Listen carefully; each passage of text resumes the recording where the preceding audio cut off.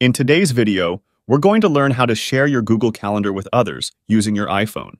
Whether you want to share your work schedule with your colleagues, your family calendar with your loved ones, or a project calendar with your team members, Google Calendar makes it easy to collaborate and stay organized. So, let's get started. Please note that you cannot share your Google Calendar with your Google Calendar app. I do not understand why, but if you want to share a Google Calendar, you cannot do it on the Google app. So how can we do it? You will need to use the browser. To begin, open the Google Chrome app on your iPhone. Write on the address bar calendar.google.com. Make sure you're signed in to your Google account.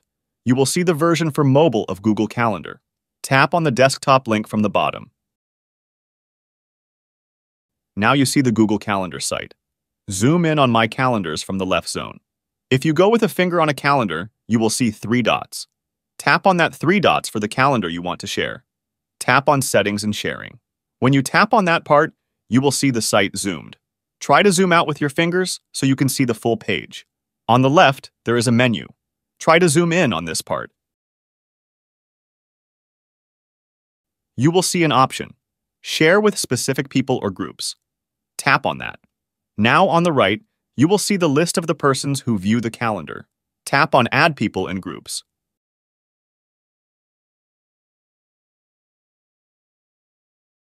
Write a specific email or contact on this input. Sometimes it's hard to fully see the input as on mobile is harder to use the desktop version. Also, you see that at the bottom, there is a permission section.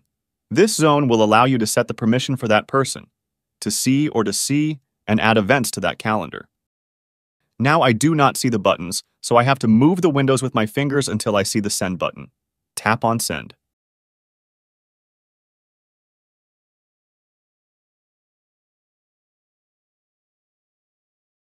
Now the invite has been sent for that person to see the calendar. This is how you can share a calendar on an iPhone with a person. And that's it. With these simple steps, you can easily share your Google Calendar with others using your iPhone. This can be a great way to collaborate with colleagues, family members, or team members and ensure that everyone is on the same page when it comes to scheduling and events. Remember, sharing your calendar gives the other person the ability to view, edit, or manage your events, depending on the permission level you granted them. So, it's important to only share your calendar with people you trust and who need access to your schedule. And that's it for today. If you found this video helpful, please consider leaving a like and subscribe to my channel for more tech tips and tricks. As always, if you have any questions or requests for future videos, drop them in the comments below. Thanks for watching and I'll catch you in the next one.